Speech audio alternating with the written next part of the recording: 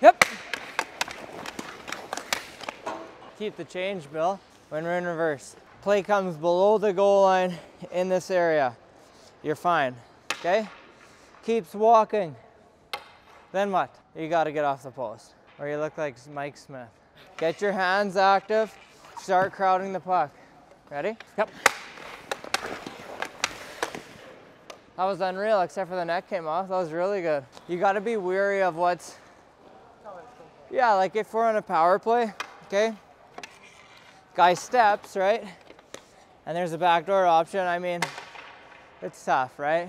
Obviously, you're to have a D man. Hopefully, it helps. Obviously, it's situational, and right now, there is nobody back there. Yep. Oh, oh, that was nice.